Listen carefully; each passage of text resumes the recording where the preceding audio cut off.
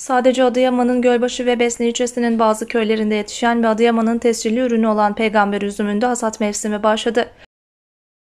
Çekirdeği kozmetik alanında kullanılan ve insan vücuduna da birçok faydası olan peygamber üzümünün hasat edilerek kurutulması için hummalı bir çalışma yapılıyor.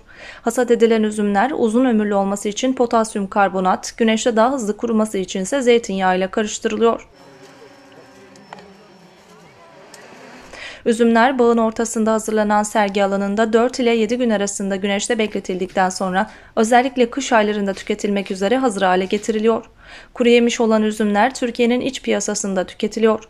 Geçen yıl Adıyaman'ın Gölbaşı ilçesinde 25.900 dekarlık alanda 12.173 ton, Besni ilçesinde ise 5.000 dekarlık alanda 2.175 ton üzüm üretildi. 4 günde kuru Üzüm hasadı ile ilgili açıklamalarda bulunan Gölbaşı Ziraat Odası Başkanı Cuma Ali Aras, peygamber üzümünün kuruduğu zamanda altın sarısı rengini aldığını kaydetti. Bunun genellikle çekirdeğinin ve genesinin çerezliktir. Bu et et gibi bakın şu anda. Öbür mesela üzümler böyle olmuyor kuruduğu zaman. Kuruduğu zaman böyle olmuyor. Bunun çekirdeğinin faydası var, geninin faydası var. Yani peygamber üzümü. Her türlü vücuta faydası var. Çekirdeğinden, içinin aromasından. Bunun tescili besni ama üzümün ana şeyi Gölbaşı. Şu anda Gölbaşı'nda bağ ilçe tarım ve ziraat odasında 25.900 dekar bağ kayıtlı Gölbaşı'nda. Bunun 12-13 bin civarı peygamber üzümü.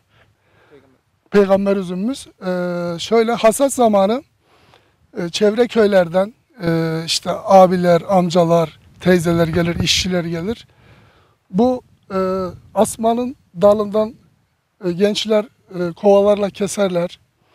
İşçiler gölgede onu tane tane hepsini ayrı bir özenle e, böyle ay- seçerek e, üzümün üzümü tanelerler. Üzüm e, kaliteli daha e, raf ömrünü uzatması için potasyumla, zeytinyağıyla potasyumun özelliği bir e, sergenin çabuk kurumasını, üzümün çabuk kurumasını sağlıyor. Zeytinyağı da raf ömrünü uzatması için. Aynı zamanda üzüme böyle sarı altın şeklinde renginde bir renk almasını sağlıyor.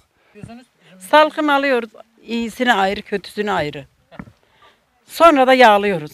Seriyoruz. Erkeklerimiz de yağlıyor, seriyor.